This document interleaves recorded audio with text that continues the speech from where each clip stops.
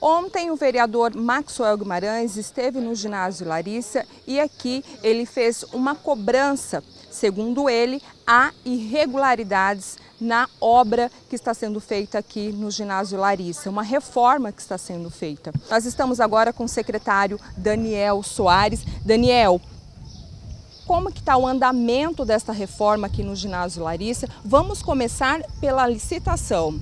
Segundo o vereador Maxwell Guimarães, a licitação aconteceu em julho de 2019 no valor de 290 mil reais. Confere. Isso foi a primeira licitação que não, que não foi concretizada na primeira licitação.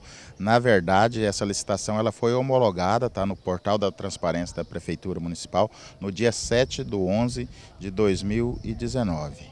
É, em relação a, a, cobrança do vereador Maxwell, é, na verdade está pintando aqui mesmo como vocês viram aí na imagem, mas essa parte que está sendo pintada é, é onde vai ser colocada as grades de, de metal, né?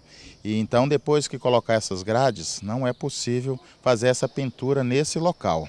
É, e aí por isso que está sendo essa pintura. Não tem não está pintando o ginásio inteiro para depois fazer a parte em cima estrutural. Inclusive na planilha também tem 625 quilos de, de ferragens, que é para ser trocada as partes que está danificada do, do ginásio.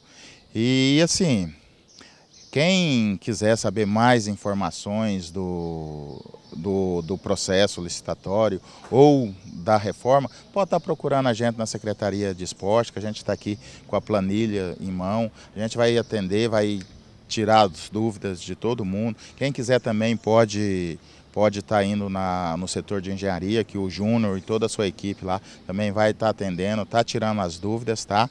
É só para título de, de esclarecimento mesmo e, e a gente está pronto para atender as pessoas e, e, explicar o que, que realmente está acontecendo. E assim, e a gente tem economizado muito para estar tá acontecendo essas obras, essas reformas. Só para ter uma ideia, na Secretaria de Esporte, isso só vou dar um exemplo. A gente tem três cargos lá que não é ocupado, dois de coordenador e um de chefe de departamento. Só aí a gente economiza quase mil, nove mil reais por mês. Então é, são com essas, com essas pequenas é, contenção de gasto que a gente consegue realizar as coisas. E a gente está aqui também todos os dias acompanhando, vendo Enquanto não está eu, a minha equipe, o Baby, a gente está sempre aqui no ginásio passando aqui. E se a gente vê alguma coisa que que está o contrário, eu não sou engenheiro, sou, sou professor, mas eu sei que nenhuma obra vai, vai fazer uma parte estrutural, vai pintar antes de, de fazer a parte estrutural. Na verdade, aqui só é só está pintando porque quando for fixada as grades a, de, de ferro aqui, não é possível pintar atrás do, do, da parede, atrás da grade.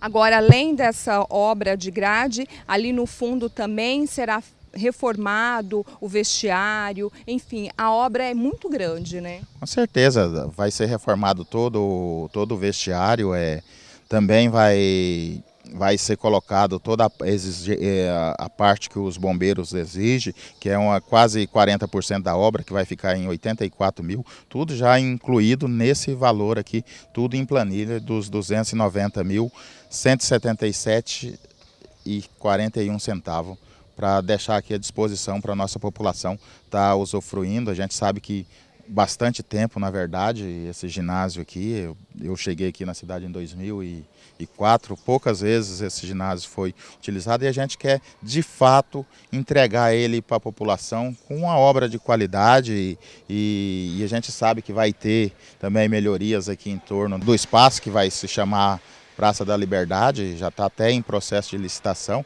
Então, esse ginásio aqui vai ser, com certeza, aqui no bairro São José, vai ser uma atração, um local onde as pessoas vão poder usufruir tanto do ginásio como do espaço todo, que também tem uma quadra de vôlei de areia sendo construída, a quadra de basquete, uma adequação de espaço ali também vai ser concluída agora, nesses próximos dias aí. Então, assim, a gente está trabalhando muito para deixar o espaço para a nossa população estar tá usufruindo e tendo um, um lazer, fazer a sua atividade física, melhorando a sua qualidade de vida.